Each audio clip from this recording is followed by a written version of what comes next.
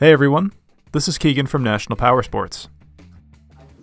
This one owner 2019 Harley Davidson Heritage Classic with only 6,739 miles passes New Hampshire State inspection and runs well.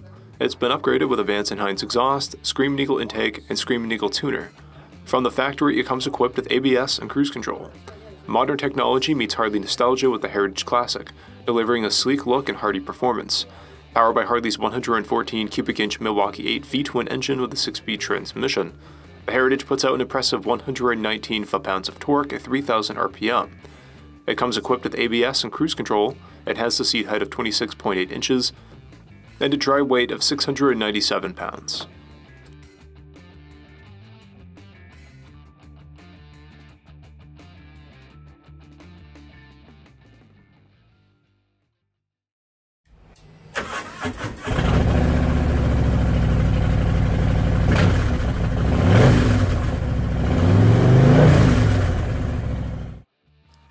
This vehicle has received our premium service in detail and comes covered under a 90-day nationwide warranty.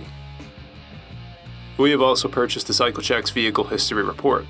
You can view this report by clicking the link on the right side of the video.